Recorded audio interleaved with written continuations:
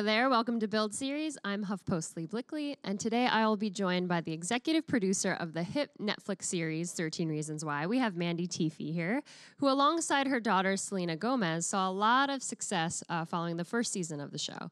Now, season two is out and captivating viewers once again with its informative storylines um, and tough storylines about teen life. Let's take a look at a clip before we bring Mandy to stage. It felt like this whole thing was going to be over.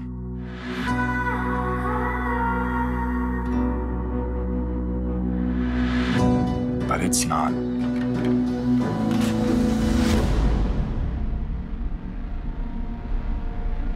How far does the dark go? What are you gonna do about that?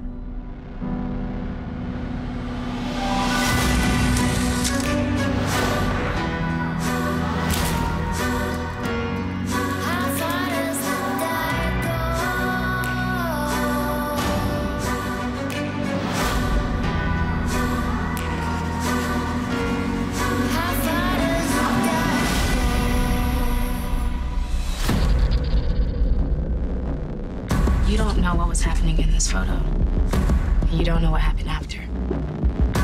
We're all in this together now. Don't you know about what goes on at this school?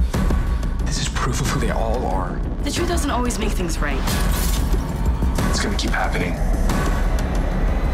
It doesn't stop. There is nothing left worth having except justice for our daughter.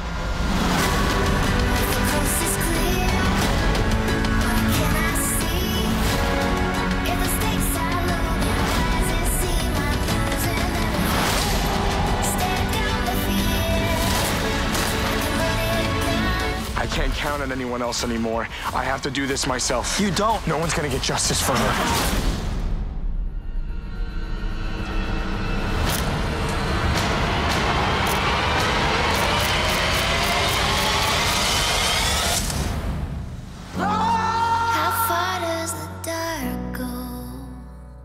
Welcome Mandy Teefey to the stage. Hi, thank you. Wow, that, that brought back all the feelings I had when I watched season two a few weeks ago now. Yeah. Um, let's go back to kind of the beginning of this journey with you and 13 Reasons Why. Yeah. Because you were uh, Selena's manager, and then you decided, I, I'm, I think I'm going to go into the producing field. Talk about that that decision.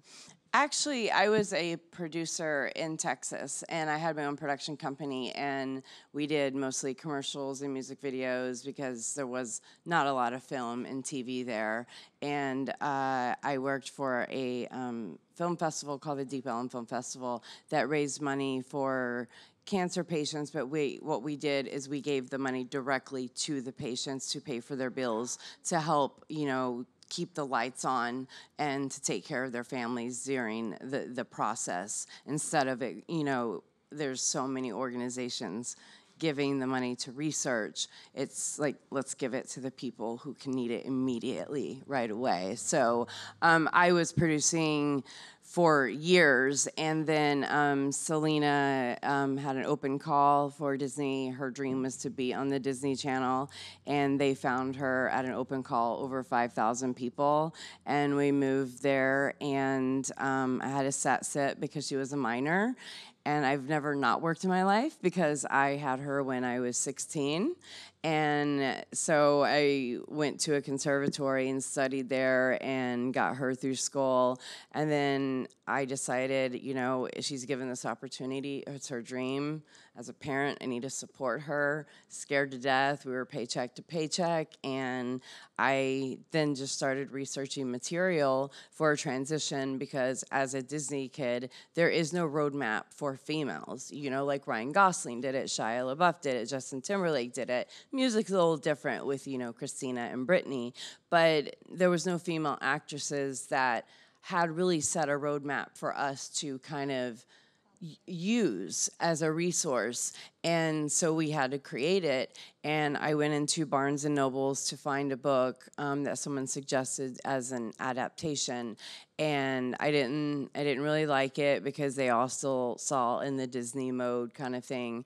And I saw the cover of this book, and it was a little girl on a swing, and I stood there and I read it from cover to cover, and I shut it and I called her agency. I go, "Where is this? She has to be a part of it." And I will do whatever it takes. And Jay was actually about to close a deal with another production company that had money because we did not.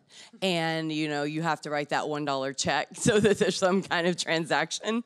And um, Jay came and he had sushi with us and we um, convinced him we were the right people for it and it was originally a transition piece for her to come out of the channel and it just took so long. We sold it many times and they kept um, i made a promise to jay of how it was going to come out which is how it came out with the amazing brian yorkey um, executing it beautifully and um, and he stood by us for for eight years. It took 10 years for it to get on the air. And it all happened for a reason because, I mean, who could see anybody but Katherine Langford playing Hannah?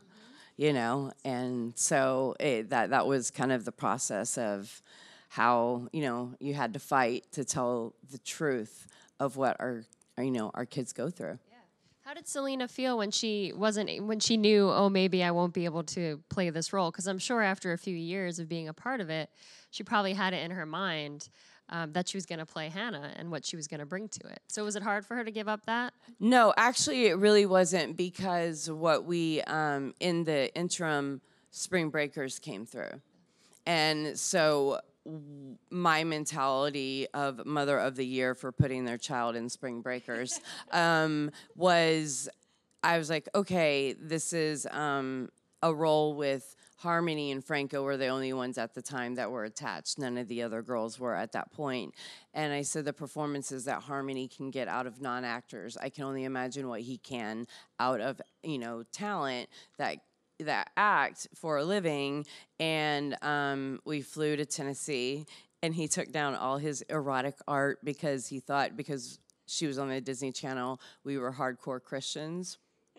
I don't understand that comparison since you know um, Walt Disney was Jewish, so I don't know how you know is it you know, yeah. and I'm like I'm putting my child and trying to get her in Spring Breakers. I think Christianity's not in the conversation window, here, and and so um, he I educated her on harmony, and she went in and she worked with him for a couple hours, and so that set up other movements for her and then she started to, to want to produce and um, it got to the point to where like she was um, in once you get into music as an actor and as talent it's a different it's a different world. You're now considered a celebrity or a pop or like an icon pop culture icon and that wouldn't have been fair to these characters to put an A-list well-known actor as Hannah. Hannah needed to be Hannah. So she, you know, was very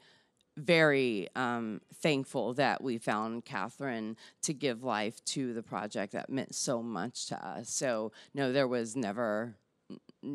It, it was, you know, I always taught her you do what's best for the project, and and that's that's what we did. Yeah, this cast is unbelievable. And again, Katherine Langford is so good. Um, did you ever, after everything that happened with the first season, um, casting that and how how many people were talking about the cast and the show and the subject line? Um, did you ever expect there to be a season two, or was it something that you guys ever talked about during the production of the first season? Well, we went out to sell it as a mini series because the book was pretty much written, you know, as a series and we actually originally sold it as a feature and it didn't work because you you couldn't understand all the characters and it was just like you didn't even like Hannah because you felt she was being mean. So we took it away a couple times and then we shelved it and then House of Cards came out and we're like okay, if television's going to this, let's try this. And um, we met Brian Yorkey, and he got it. It was funny. I was because I was on the phone, his agent called and who happened to be my lit agent and said, "There's this book, 13 Reasons Why." He goes, "I don't care what it is. I don't know what the job is. I want it. What do you want me to do? I will be a writer's assistant." And uh, you know, and he won a Tony and a Pulitzer, so that was such a blessing for a YA show. And um, so it um, it. What was your question? I do that. Yeah, so. no, no, no, it's fine. So that Be what you were talking about. So I was asking. So did you know that there would be a season I two? no, no, we didn't because we were kind of going along with it, and then we ended it to where some people might be a little upset that this didn't get, but we felt like you could come to your conclusion of what would happen, and we didn't want to force it. What really kind of came to fruition of when we realized that it was important to do a season two is the response of the conversation that this was needed and wanted. And um, because when we initially went out to sell this, people were saying, kids don't want to talk about this, kids don't want to watch this.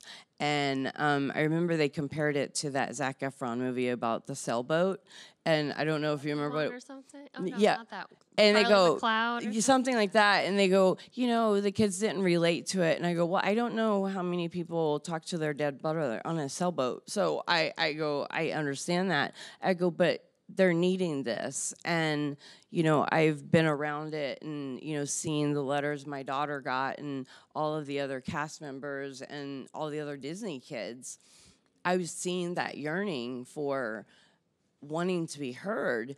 And that all that that did was prove that it was right and that they did need it and they did want it.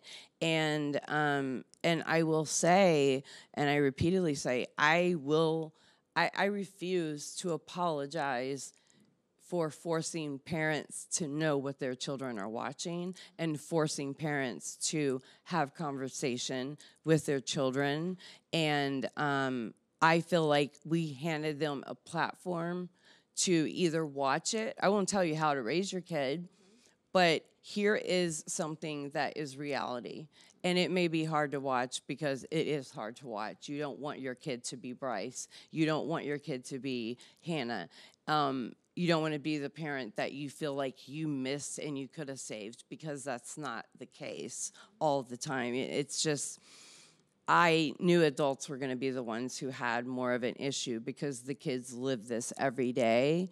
And um, so then we saw there's more social issues um, that these kids want to talk about it. And now look at who's moving our country. You know, these kids with gun violence. It's like, it, it, it's like I'm not saying we're taking credit for that, but I feel like we cracked that door a little bit. Like we're they're like, okay, well they're gonna hear us now because they had to fight um, in high schools.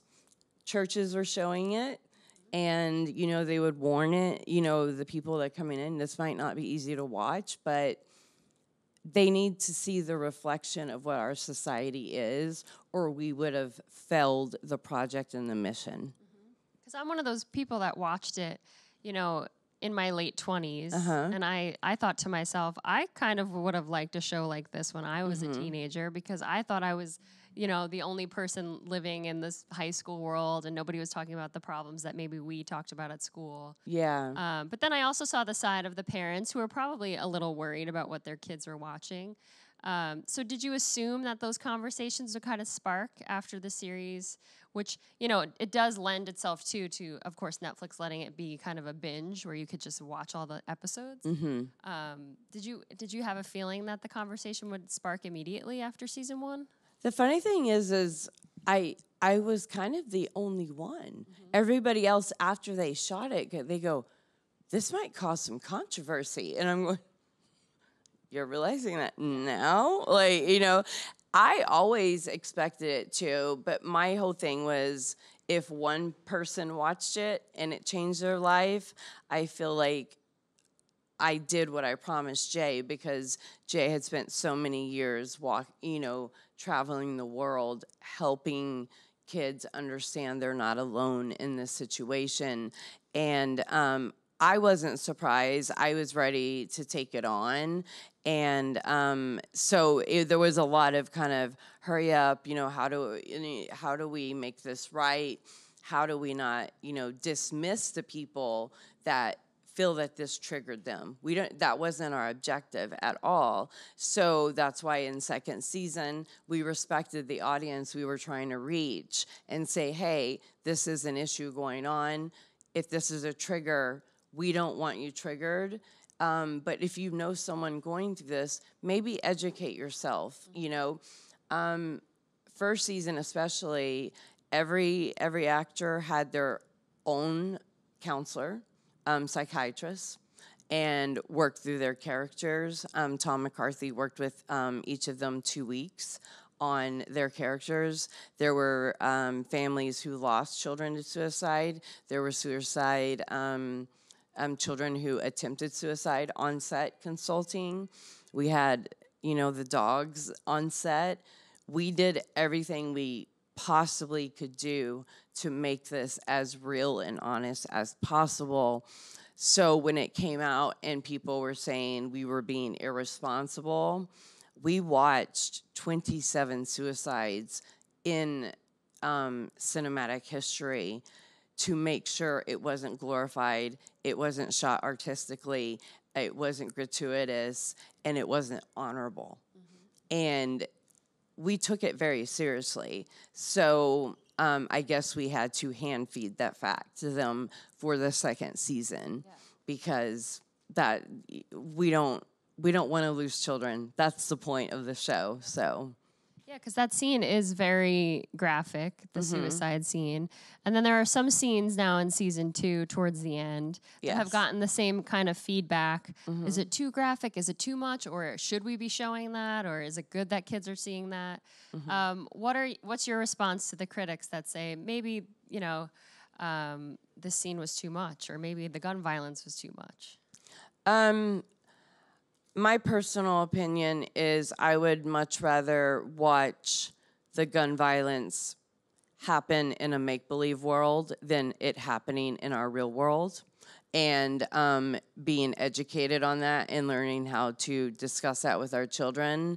Um, I might have a week off now on the dates, but I do believe at last week we had 23 school shootings in only two, 22 weeks in the year that's un, uncalled for. That that our kids, you know, I'm creating a charity that's a town hall, and it was originally for at-risk children. All our kids are at risk now. And so now there there is no audience. It's every kid. They're at risk. They can't even go to school, and that's upsetting. And so what I said was, um, and I will address the Tyler scene um, because one out of six men have been sexually assaulted at some age in their life. And for that to be dismissed is unfair to the survivors of that sexual assault simply because they're male.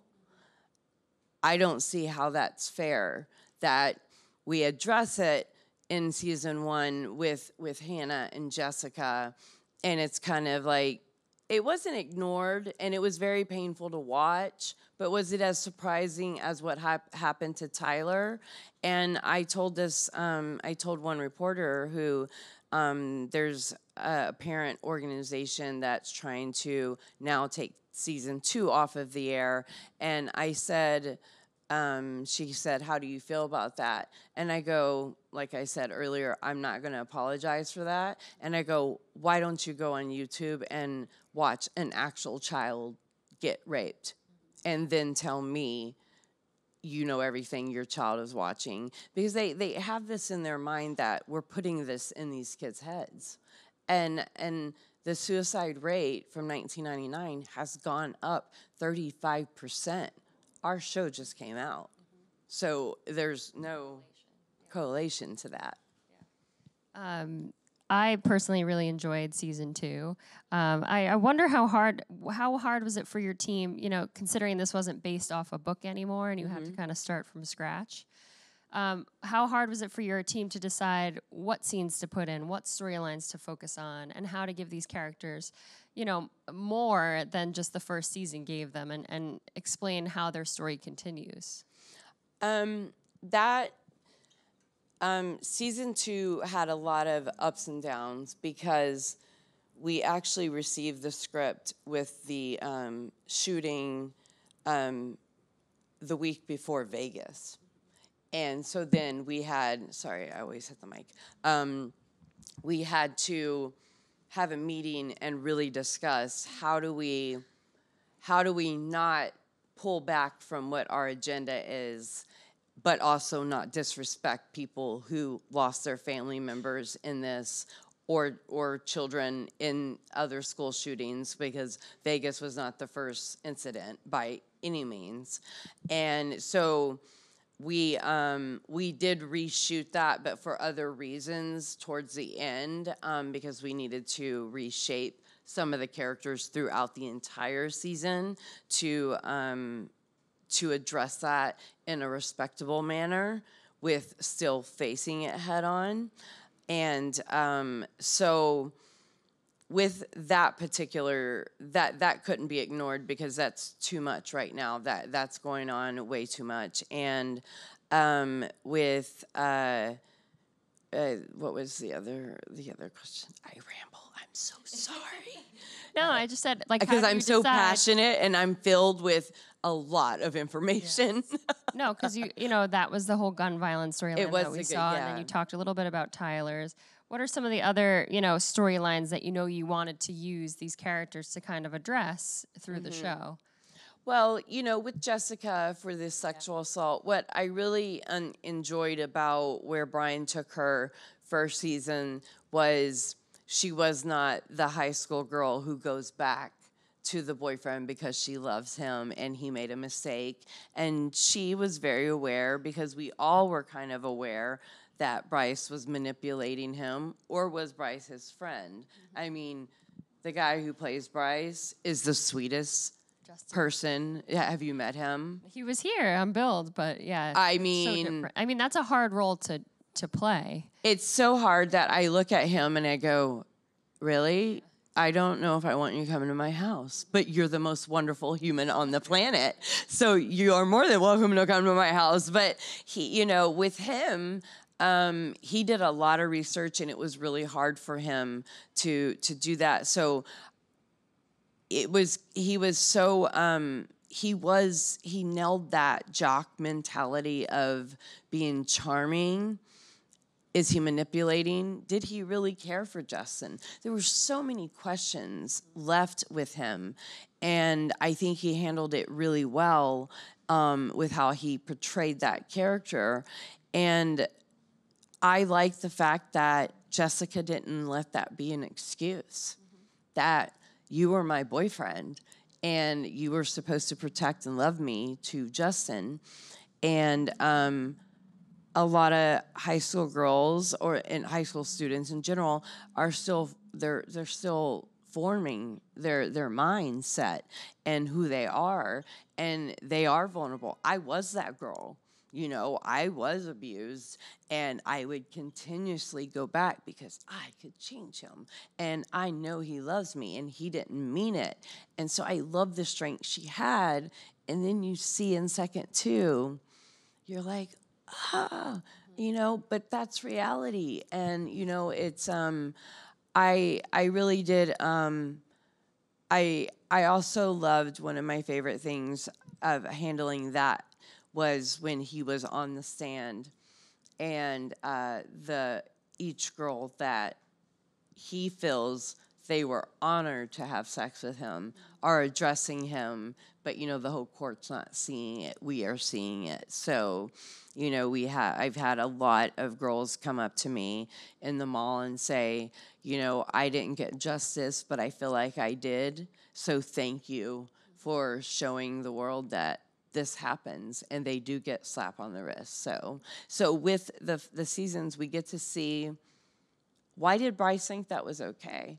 Why why did Justin, you know, it's it made them more three dimensional and we get to hear their side of the story because their life isn't happy go lucky, mm-hmm. you know, and it's you know, it, everybody has their demons and so we get to explore that more.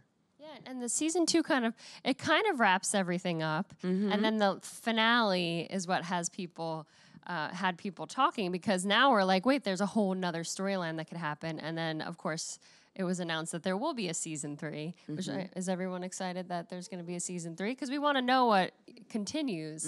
Now, where do you go from here? Uh, what are your goals with season three? Is it the same as the first two seasons? Is bringing these conversations to the teen audience that clearly is listening and wants to watch?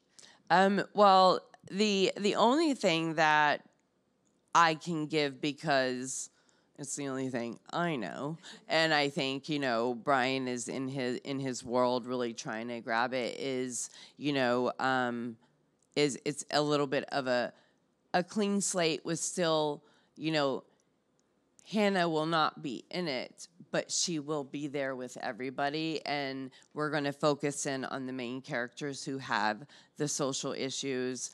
And um, then we are going, you know, do our continuous research of what needs to be, you know, brought up, brought to, you know, attention to the world and um, try to, you know, figure that, figure out what's important to tell because Bryce transfers to another school what is his life like afterwards, you know? Because I will say, um, yeah, it, it, it's, um, I know in uh, the trailer, you know, he shuts the thing as rapist. When season one came out, you know, there was so much controversy. They were breaking and they thought it was my car, but it was my husband's car. They were breaking in the car and they were spray painting Teen Killer in my car and I don't even know how they knew where I lived because it was a rental because we didn't know where we were moving yet. And um, so we had to take really high security measures to protect the kids. And um, unfortunately, I was used to that because, you know, there's a lot of anger towards Disney kids, so we've been dealing with that for years. And um, so it's um, it was very risky, but I I I use a quote, and it's a little it's a little dramatic when it comes to when I'm picking comedies that I need to add more of. So if anybody has an idea of something funny, please help me. Um, but Martin Luther King is um, he made he he said, "You don't know what you're willing to stand for. You don't know what you stand for until you're willing to die for it." And um, I use that when I pick material because I want to. I don't want to be preachy and that's why this I, I feel second season did have because of the adult characters did come off a little bit more educational and in, a way that first season was this is a show because um interesting enough the Weinstein documentary bully um anybody who was anti-bullying are the only ones going to see a documentary so we had to make something that people, you know, kids that wouldn't go watch the documentary would have no clue what they're walking into. Yeah. Mention the parents too. Kate Walsh is so phenomenal in this. Oh my season. gosh. I liked how we got to know her character a little more. But now I'm, I'm just curious about like Clay and what what's going to happen with Clay because we kind of saw him in a particular situation. So I'm curious to see how season three goes. I mean, how brilliant. I mean, I, I mean, I can't say enough about our cast, but Dylan, flawless. Like you know, they're just so flawless. These we lucked out so hard. I, mean, it was like it wasn't luck because it was six months of casting, but they all read for Clay and Hannah, every actor, 900 actors. And then we kind of re- we moved them around and tried to play with it. But his first audition and Katherine's tape that she made from home, didn't even know what the book was. I she was on my wall from the very first time. I knew she was Hannah.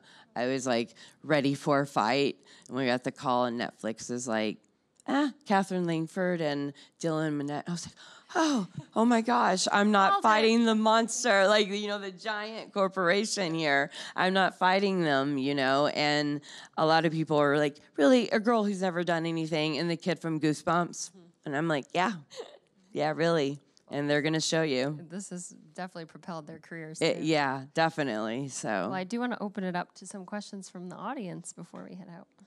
Hi. Um, I Hi. was just wondering, um, with the show out now, uh, have you ever had like uh, conversations with your kids, like maybe prior to the show, about you know like bullying and you know everything else that's been like my about? personal children? Yeah. Y- Oh yes, yes, definitely. Um, I grew up in um, and um, Selena. I have a five-year-old, so the big age gap. You know, so it's different types of um, bullying. But with uh, Selena, we grew up um, paycheck, paycheck, and um, we're actually uh, not us together, but I'm doing a documentary on nature versus nurture and we're utilizing that on what actually really influences people um, because I was adopted, so I don't know my nature. And I only know my nurture, and that was very unbalanced. And I lost, uh, I think, with Christina Grimmie, um, from seven, I lost 37 um, family members or friends to suicide, violence, or overdose. And that was in the 90s.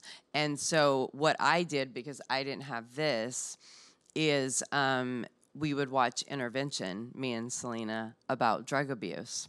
And then we would watch other stuff, and I'm like, look, that wasn't nice, and this is why.